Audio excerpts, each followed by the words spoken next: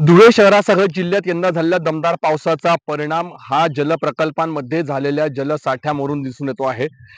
शहरासह जिल्ह्यामध्ये यंदा मुसळधार पावसाने चांगले हजेरी लावली आणि तब्बल तीन ते चार दिवस होत असलेल्या सातत्याच्या पावसामुळे अक्कलपाडा धरण असेल त्यासोबतच जामखेडी असेल मालनगाव असेल या प्रकल्पांमध्ये मोठ्या होती जलसाठा निर्माण झाला होता.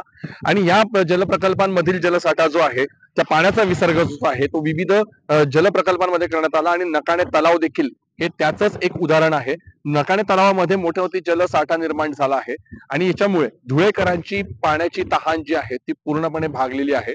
उन्हाळ्यामध्ये हाच नकाणे तलाव जो आहे तो पूर्णपणे कोरडा ठाक पडलेला होता आणि या नकाणे तलावातून मोठ्या होती गाळ काढण्याचं काम देखील यंदा करण्यात आलेलं आहे. त्याच्यामुळे यंदा अं, द- दरवर्षाच्या तुलनेत पाण्याच्या पातळीत वाढ जी आहे ती झालेली आहे. त्याच्यामुळे आता धुळेकरांना दररोज पाणी पुरवठा होईल अशी अपेक्षा आहे. मात्र सद्यस्थितीतही धुळेकरांना सात ते आठ दिवसाआड पाणी पुरवठा केला जातोय.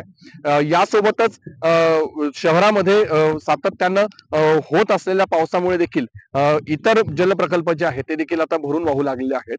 त्याच्यामुळे धुळेकरांची तहान यंदा भागली आहे. तलावामध्ये दोनशे सतरा एमसीएफटी इतका जलसाठा सद्यस्थितीत निर्माण झालाय. धनंजय दीक्षित एबीपी माझा धुळे. एबीपी माझा.